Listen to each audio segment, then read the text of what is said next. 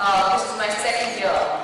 So I would request firstly, with joint hands, for everyone sitting at the back, I feel like people sharing this great technology with us, where there are such learned doctors sitting with us.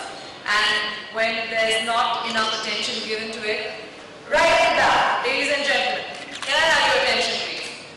Yes, thank you so much. I appreciate the silence and I appreciate uh, the information that just, uh, you know, was given to us. I was amazed at the technology that has just come about. Um, of course, beauty, we need all of it, of course.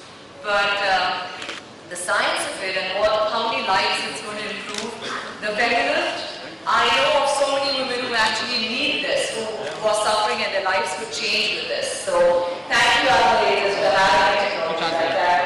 Um, Femilift will definitely um, bring in the new, the new, uh, I, I would say a new beginning to uh, a lot of women out there. I would say that for sure.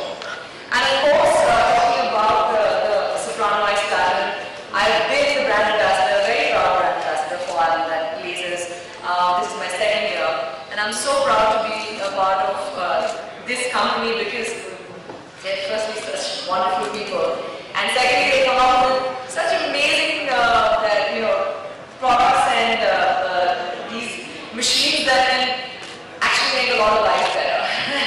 I uh, just got my underarm laser, of course, done by the uh, Soprano Ice Platinum. It was like, it was literally like, woohoo, so quick, so painless, and uh, it will help many, many uh, women who, or men as well, if they would like to. yeah. but um,